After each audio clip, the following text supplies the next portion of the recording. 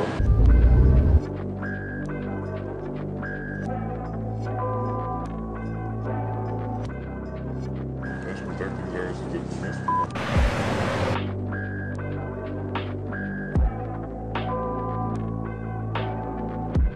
Бля, ты бы знал, как я сейчас обрадовался.